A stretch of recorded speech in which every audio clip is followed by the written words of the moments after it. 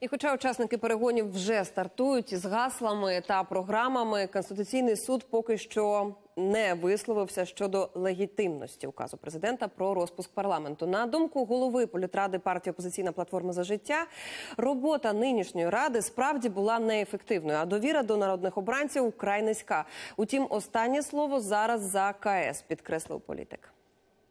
Но если говорить по сути данной проблемы и по поводу того, что будет принято Конституционным судом, я бы хотел сказать, что, наверное, звездный час для Конституционного суда это слишком громко в этой ситуации, но это действительно важно.